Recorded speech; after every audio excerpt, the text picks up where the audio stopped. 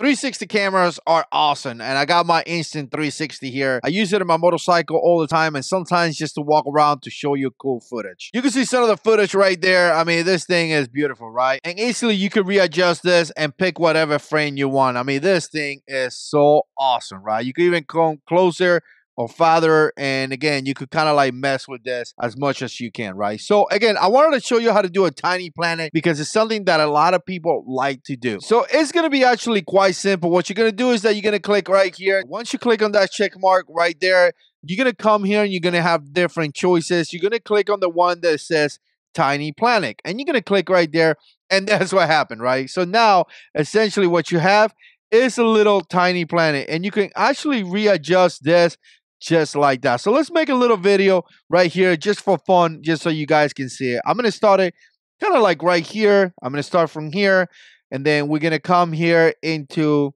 a regular setup, right? We're going to go here and we're going to do default and we're going to kind of set it up right there, right? So we're going to go from here. We're going to be walking and then we're going to go into a tiny planet. Look at that.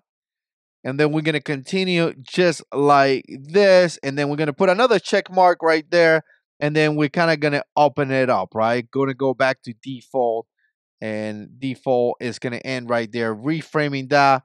And then we're going to end it right here, right? So we're going to come over here and click this button. And that's going to be the whole movie. So let's go ahead and process this. All right, and here's going to be the movie. Let's go ahead and play. Play. It's going to come like that. We're going to close it up into that tiny planet right there. Look how cool that looks. And then we're going to open it up again, that was a really, really cool transition. That's how you set up a tiny planet with the Insta360 Studio application that is actually free to do here in the computer. You also have one in the phone as well. Let me know what you think. Put comments down below. We'll see you in the next one.